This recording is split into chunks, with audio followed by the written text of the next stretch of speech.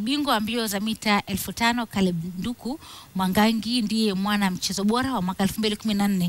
Ndiku alituzwa katika katika makala ya 11 ya Safaricom Soya Awards iliyofanyika katika ukumbi wa KICC. Mshinda dunia wa mbio za mita 800 za kinadada Eunice Sum alitwaa taji la mwanamichezo bora upande wa kinadada.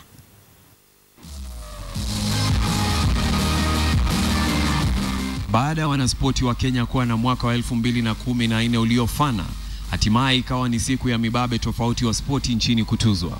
Caleb Ndiku Mwangangi ambaye alishinda mbio za mita elfu tatu nchini Poland, mbio za mita elfu tano katika mashindano ya Jumuiya ya Madola nchini Scotland, pamoja na kutua taji la Afrika katika kitengo cha mita elfu tano na elfu tatu huko Morocco, alitua taji la mwanaspoti stadi zaidi nchini mwaka wa elfu mbili na kumi na nne. Caleb Ndiku. Caleb Biko Wangangi.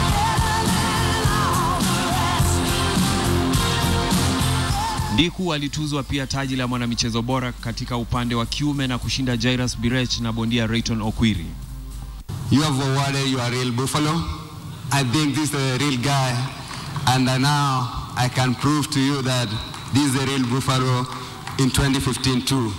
Mshindi wa msururu wa ligi ya IAAF ambaye pia ni mshindi wa dunia wa mbio za mita 800 Eunice Jepkoech Sum alitua taji la mwanamchezo bora upande wa kinadada.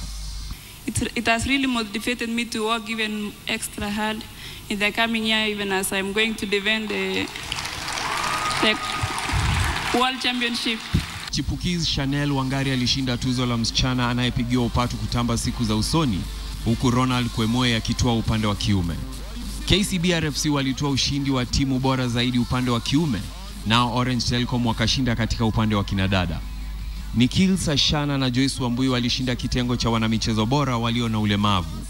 Robinson Okenye, KTN Michezo.